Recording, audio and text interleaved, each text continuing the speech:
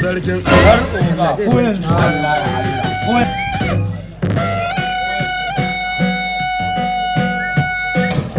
kai tun yaushe na ce ku zo ku bayyana sai yanzu duba muke oga. Kai ban wukata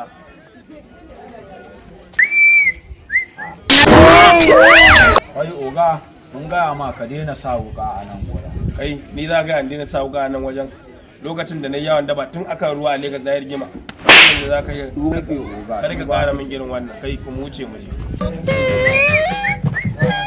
Ga shiga ga zara a matsayin kibau dan garba da na zo duban za tukurban tijani ba ha zarar katsina Zaune gari ki tashi. zaune gari ki tashi uban magajiya algaje. Allah ya mutanen gurguro ne mutan katsina Allah ya sarki. Kai ba ba katsinawa dole. A rada an yi rashin gwarzo zo yana kira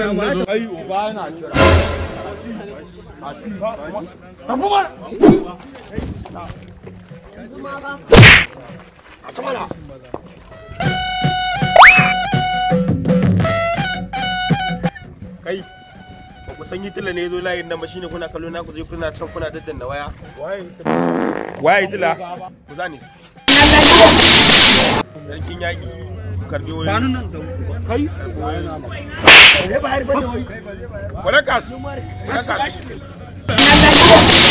shine sarki oh kamu a mai da wani aiki ne kai mutan kano kai uban waya sa ka biyo ta wannan hanya? Hanya uban waya. Kai waye kai da kai. Kan kake wa wannan tambayar kai.